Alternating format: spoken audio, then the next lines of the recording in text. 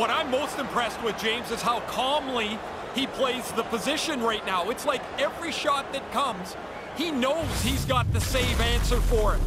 The streak continues.